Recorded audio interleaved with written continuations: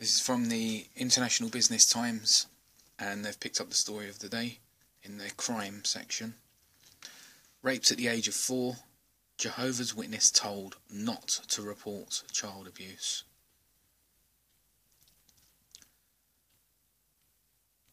So, once again, it's just fantastic that this is reaching a wider and wider audience. More and more people are getting to see and hear the truth about what is going on with Jehovah's Witnesses.